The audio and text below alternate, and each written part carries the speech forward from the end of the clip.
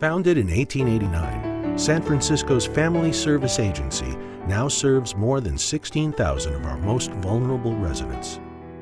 From infants to seniors, we provide the most innovative social services and advanced mental health programs to San Franciscans from all walks of life.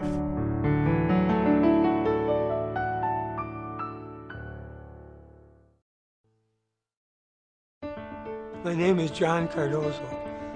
I'm a volunteer for the Senior Peer Counseling Program. It's a program for senior men and women. Some have mental problems and they tend to be very isolated. The idea is to get them linked to uh, mostly medical mental health care, but it often turns into just being a friend, someone who they can talk to I guess uh, part of my job is to be charming or whatever.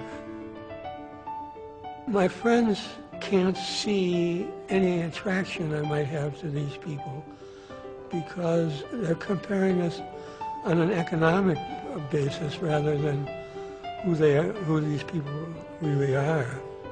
This is something where I feel I'm helping someone else and also helping myself, and I think it keeps me younger. I'm 80.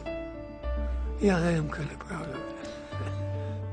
well, the program is dependent on uh, getting enough financial support. So if that, for some reason, was cut off, I really worry what would happen to the, not only my clients, but everybody else's clients. I think we've given them hope.